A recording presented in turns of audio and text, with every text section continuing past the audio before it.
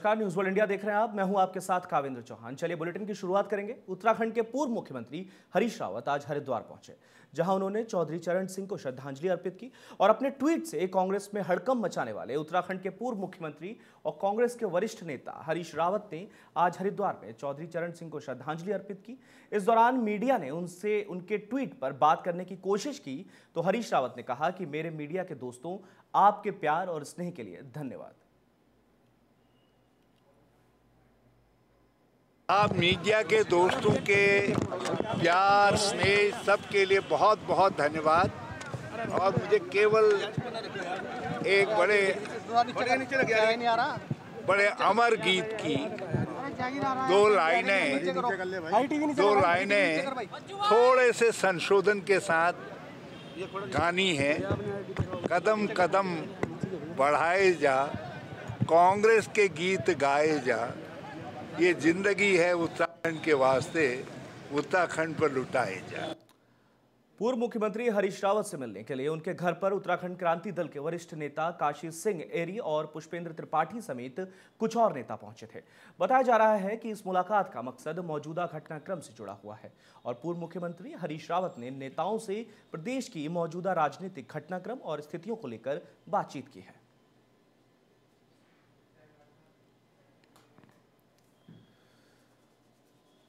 वहीं किच्छा विधानसभा क्षेत्र में विधायक राजेश शुक्ला नगला पंतनगर नगर पालिका की अधिसूचना जारी कराकर देहरादून से पंतनगर पहुँचे, जहाँ पर उनका पंतनगर नगला क्षेत्र के निवासियों ने पंतनगर एयरपोर्ट पर जोरदार स्वागत किया।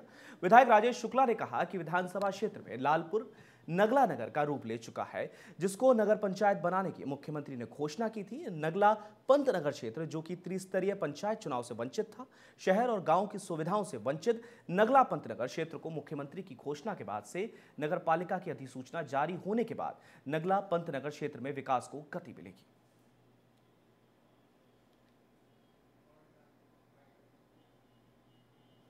मैं मेरे पास शब्द नहीं है, मैं इतना प्रसन्न हूँ। ये मेरी अलमा मैटर है, यहीं से हम पढ़े हैं यहीं बगल में टीडीसी है, जो इसका हिस्सा रहेगा, वहाँ से हम लोगों का जुड़ाव एक किसान के रूप में भी रहा है।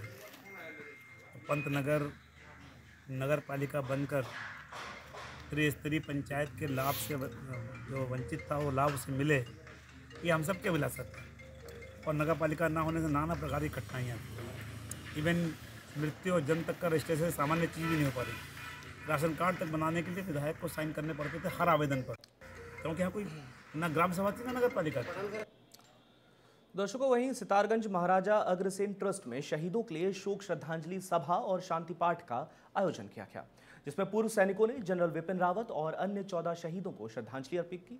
शोक सभा में स्कूली छात्राओं ने शहीदों के सम्मान में देशभक्ति के गीतों का गायन किया। सभा में मुख्य अतिथि, पूर्व मुख्यमंत्री विजय बहुगुणा ने शहीदों को नमन करते हुए, उन्हें पुष्प अर्पित करते हुए भावभीनी श्रद्धांजलि दी है। जो वीर सपूत अपनी देश की सुरक्षा करते हुए हमारे जो सीडीएस थे, चीफ ऑफ़ आर्मी स्टाफ हमारे बिपिन रावत जी, वो एक दुर्घटना में मारे गए। हमारे सभी लोगों की तरह आज उनको श्रद्धांजलि दी जा रही है। ऐसे वीर हमारे देश के सिपाही हैं जो बॉर्डर में अपने खून की होली खेलने के बाद हमारे देश की सुरक्षा करते हैं। वो ये सबूत हैं, जिन लोगों ने गोली खाने के बाद हमारे देश का बाल बांका नहीं होने दिया। हमारे फौज हमारे लिए प्रेरणा है और उत्तराखंड के लिए तो बहुत गौरव की बात थी कि पहला chief of the defence staff हमारे उत्तराखंड से रावत जी हुए और आठ दिसंबर का दिन तो बहुत ही दुखद दिन था। हमने तेरह वीर अपने अफसरों को उस दिन खो दिया। लेकिन जैसे मैंने कहा कि सही श्रद्धांजलि ये होगी कि हम जो भी लोग हैं, चाहे व्यापारी हों, कर्मचारी हों, अधिकारी हों, हम भी अपनी भूमिका निभाएँ, ईमानदारी से, निष्ठा से कार्य करें और इस देश को जो है मज़बूत बनाने के लिए अपना योगदान दें, समाज में प्रेम भाव बनाए रखें। विधानसभा चुनाव 2022 में मिशन फतेह की गरज से आज समाजवादी पार्टी ने काशीपुर से यलगार बोली है, जहाँ मोहल्ला अली खान ने एक चुनावी सभा कर सपा के उत्तराखंड और उत्तर प्रदेश के नेताओं ने बीजेपी और कांग्रेस पर जोरदार हमला बोलते हुए लोगों से सपा को मज़बूत करने का आह्वान किया है। इस दौरान पार्टी की राष्ट्रीय प्रवक्ता नाहिद लारी ने कहा कि समाजवादी विचारधारा पर जब से ये मनुवादी विचारधारा लाई गई है, तब से देश लगातार गर्त की ओर जा रहा है। उन्होंने कहा कि अगर देश और प्रदेश को बचाना है तो फिर से समाजवाद को देश में लाना होगा।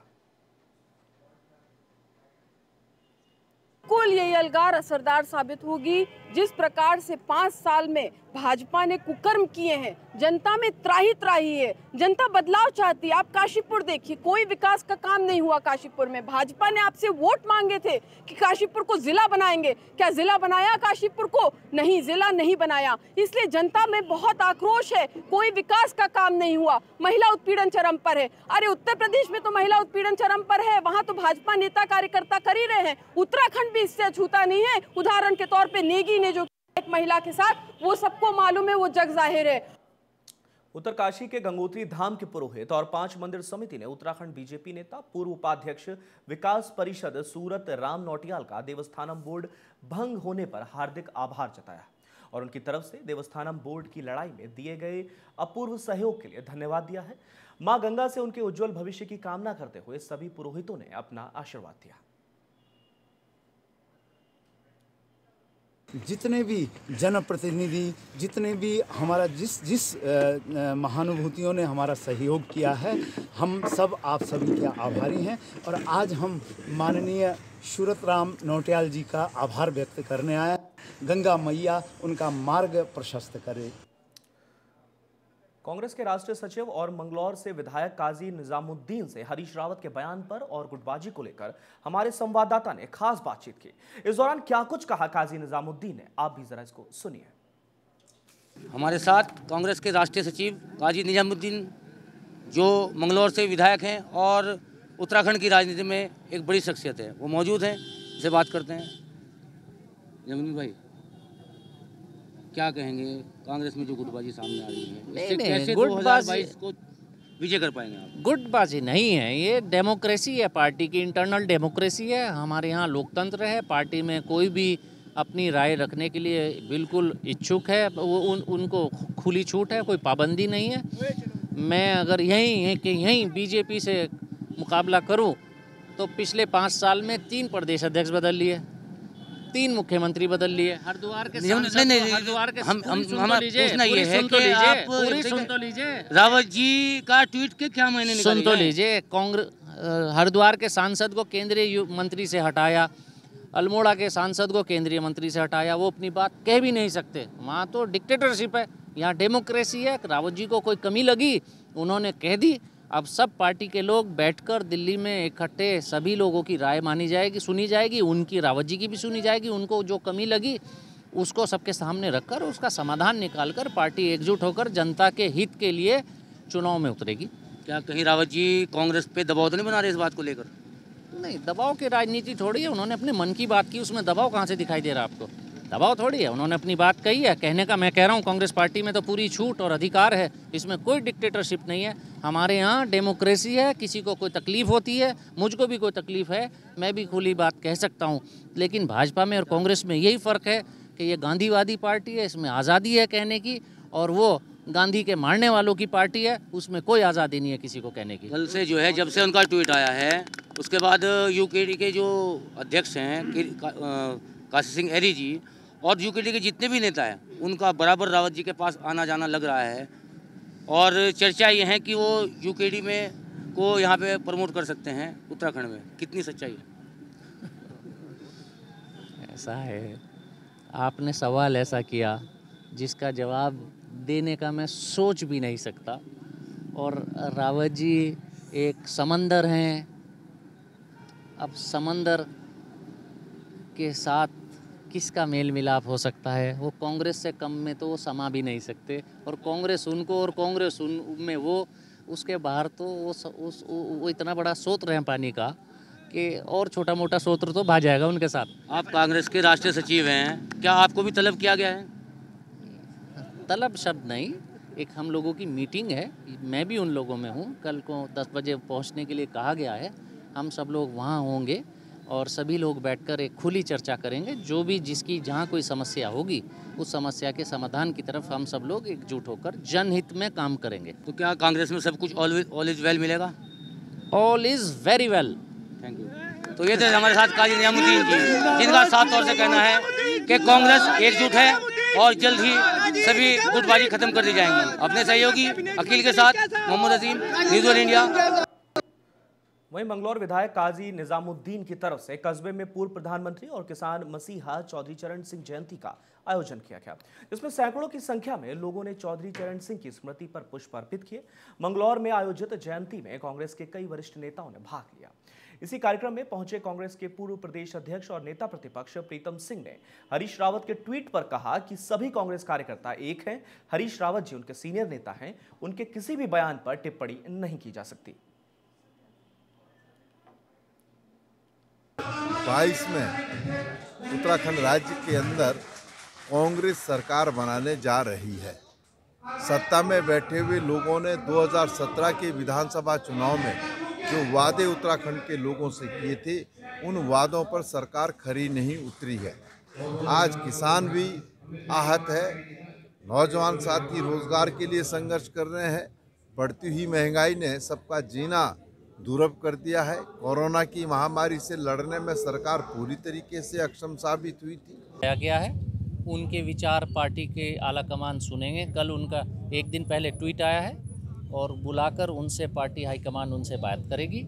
वही वहीं बताएँगे कि कहाँ क्या उनकी नहीं सुनी जा रही और जो नहीं सुना, सुन रहा होगा, जो तालमेल में कोई कमी होगी, सबको एक मंच पर बिठाकर, एक जगह बिठाकर उसको सुधारने का प्रयास पार्टी कर रही है।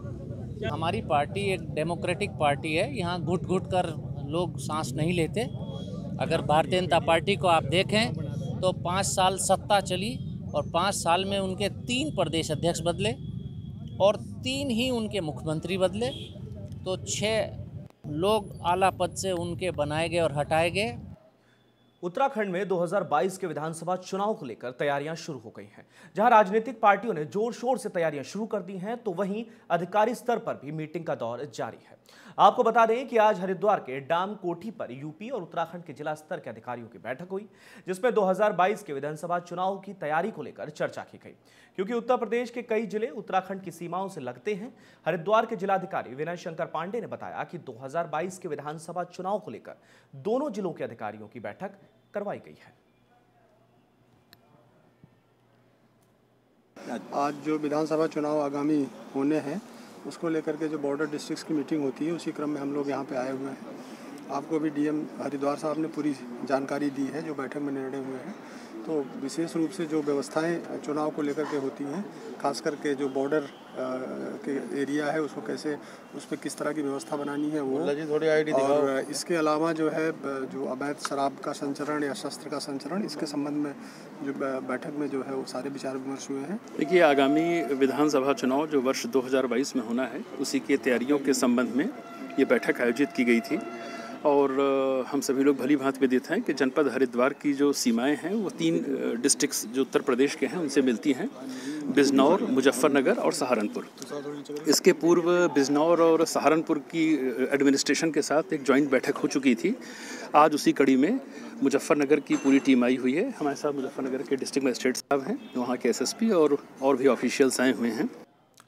दर्शकों, वहीं कांग्रेस के वरिष्ठ नेता हरीश रावत के पार्टी को छोड़ने के अफवाह के बाद कुमाऊं मंडल से उन्हें मुख्यमंत्री का चेहरा घोषित किए जाने की मांग की जा रही है। वहीं गढ़वाल क्षेत्र से भी कांग्रेस कार्यकर्ताओं ने अपना सीएम का चेहरा घोषित करने की मांग पार्टी हाईकमान से की है। गढ़वाल के कांग्रेस नेताओं का कहना है कि प्रीतम सिंह या फिर किशोर उपाध्याय को सीएम का चेहरा बनाया जाए, इससे पार्टी को बहुत बड़ा फ़ायदा होगा। और आने वाले विधानसभा चुनाव में पार्टी भारी बहुमत के साथ सत्ता पर काबिज होगी।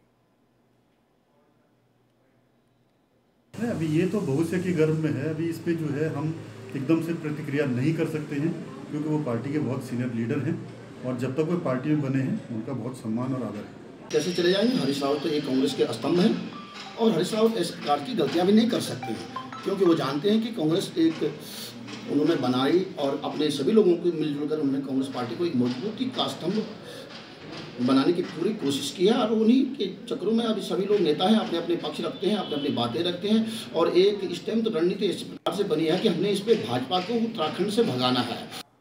उत्तराखंड में नेता प्रतिपक्ष प्रीतम सिंह आज मंगलौर में चौधरी चरण सिंह की पुण्यतिथि में शामिल हुए। वहीं इस दौरान हमारे संवाददाता ने उनसे आने वाले विधानसभा चुनाव समेत कई मुद्दों को लेकर बात की। क्या कुछ कहा प्रीतम सिंह जी ने? आप भी इसको सुनिए जरा। प्रीतम सिंह जी मौजूद हैं जो नेता प्रतिपक्ष है। और पूर्व अध्यक्ष भी रह चुके हैं कांग्रेस के। हरीश रावत के एक बयान ने कांग्रेस में हलचल मचा दी है। आज दिल्ली से फरमान आया है कि जितने भी वरिष्ठ कांग्रेसी हैं, उनको तलब कर लिया गया है। प्रीतम सिंह जी मौजूद हैं, इनसे बात करते हैं। प्रीतम सिंह जी, क्या कौन मगरमच्छ है? अगर आप हरीश रावत जी के ट्वीट को देखेंगे तो उन्होंने इस बात को कहा कि जिस दरिया में तैरना है उस दरिया में सत्ता पक्ष के बहुत सारे मगरमच्छ है तो उन्होंने इस परिप्रेक्ष्य में इस बात को कहा है। तो दिल्ली जितने भी वरिष्ठ कांग्रेसी हैं उनको क्यों तलब किया गया है? नहीं देखिए राष्ट्रीय नेतृत्व तो समय समय पर हमको वार्ता के लिए बुलाते हैं। प्रदेश की स्थिति क्या है उस परिप्रेक्ष्य में हमको बुलाया जाता है। और ये सतत चलने वाली प्रक्रिया है उसी परिप्रेक्ष्य में बुलाया। जग ज़ाहिर है कि कांग्रेस में गुटबाजी है। कांग्रेस दो गुटों में बटी हुई है। एक गुट आपका है और एक हरीश रावत जी का गुट है। काफ़ी लंबे समय से आपके जितने भी समर्थक हैं वो हरीश रावत जी के प्रोग्राम में दिखाई नहीं देते। ऐसा क्यों? देखिए मेरा कोई गुट नहीं है। मैं तो कांग्रेस का एक छोटा सा कार्य करता हूँ। सोनिया जी राहुल गांधी जी मैं मैं निष्ठा रखता हूँ और जो दायित्व राष्ट्रीय नेतृत्व मुझे देता है उस दायित्व का निर्वहन करने का काम करता हूँ। क्या पंजाब की तरह यहाँ देखने को मिलेगा अमरिंदर सिंह जी? नहीं ऐसा कुछ नहीं होने वाला है। 2022 में कांग्रेस जो है उत्तराखंड राज्य के अंदर सरकार बनाने जा रही है। कांग्रेस ने अभी तक मुख्यमंत्री का चेहरा घोषित नहीं किया। क्या वजह मान रहे हैं? क्या गुटबाजी की यही वजह है? देखिए चेहरा कौन होगा होगा नहीं होगा ये फैसला लेने का अधिकार प्रीतम सिंह को नहीं है। ये अधिकार राष्ट्रीय नेतृत्व में निहित है वो इस परिप्रेक्ष्य में जो है निर्णय लेंगे।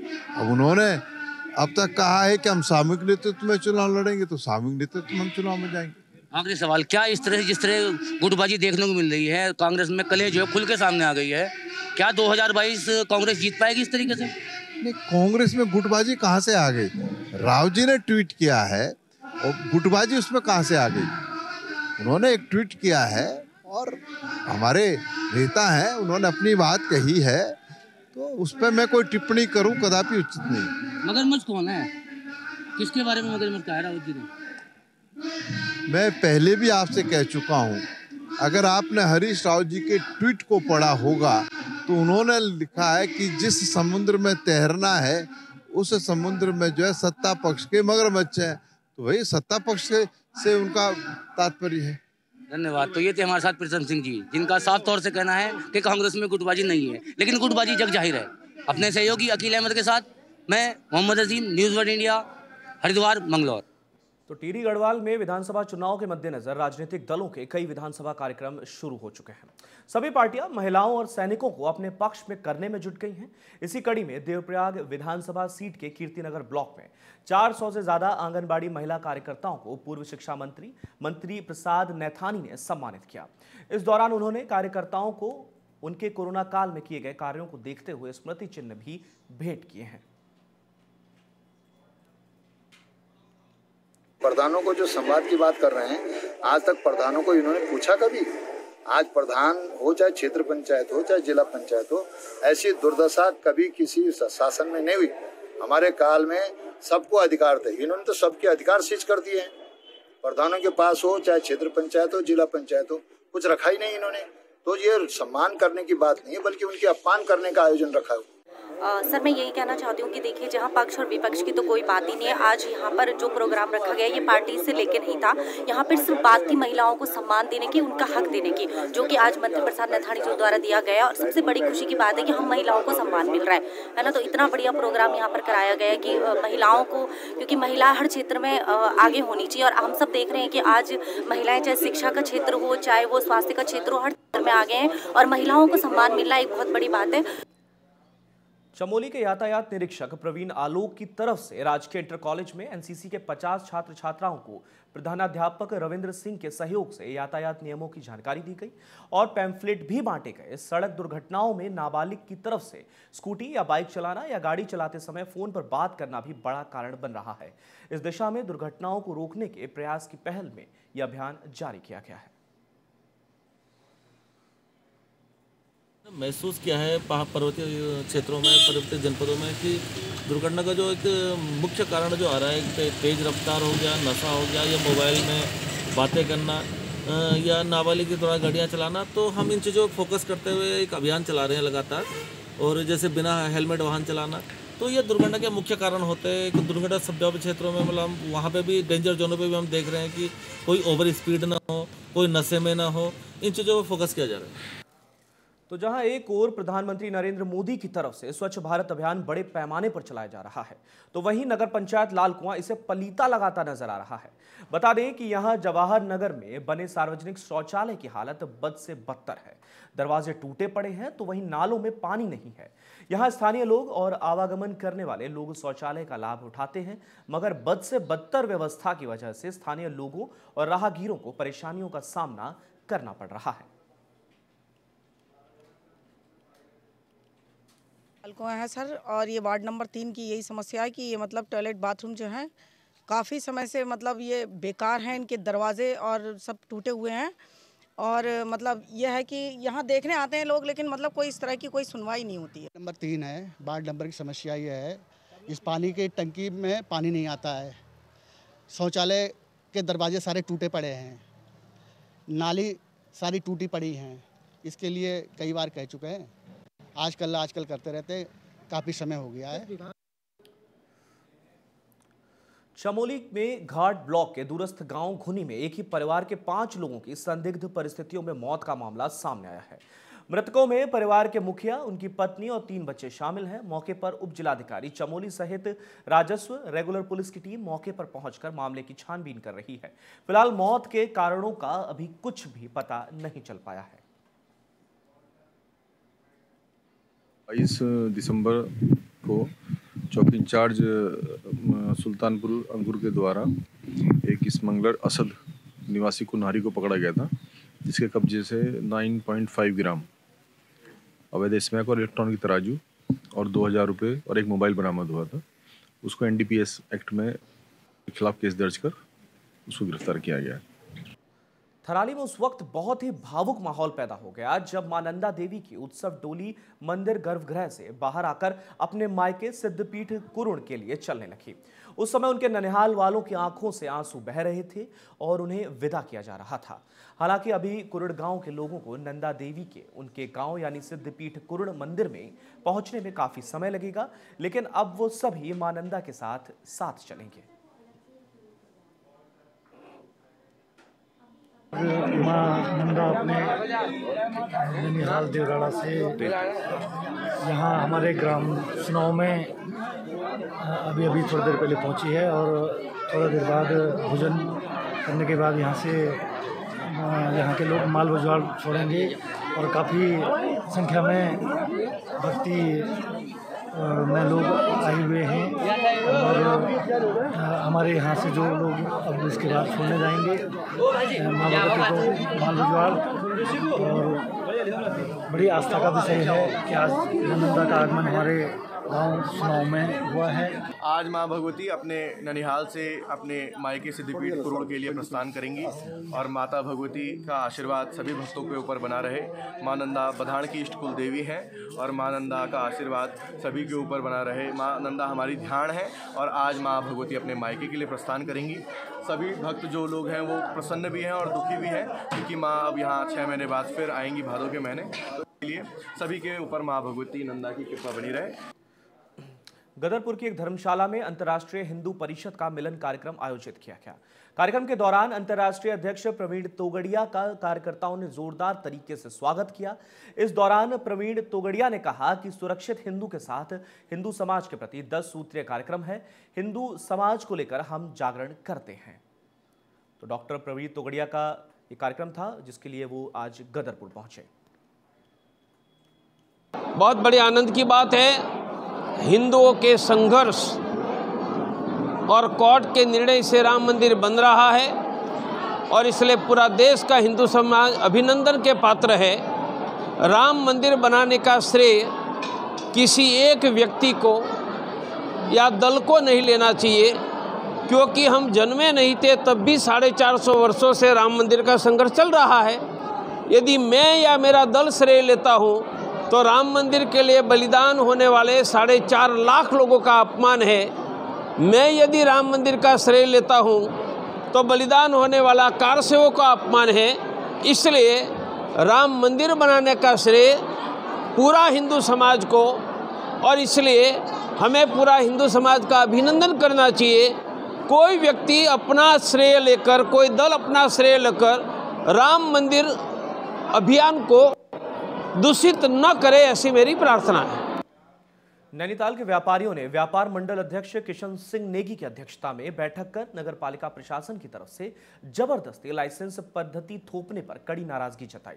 राम सेवक सभा में एक बैठक आयोजित की गई, जिसमें नेगी ने कहा कि जिस तरह से राज्य सरकार व्यापारी वर्ग से लाइसेंस शुल्क लेती है, उसी तरह लिया जाए। नगर पालिका की तरफ़ से शुल्क लिया गया तो व्यापार मंडल व्यापारियों को लेकर सड़कों पर उतर आएगा।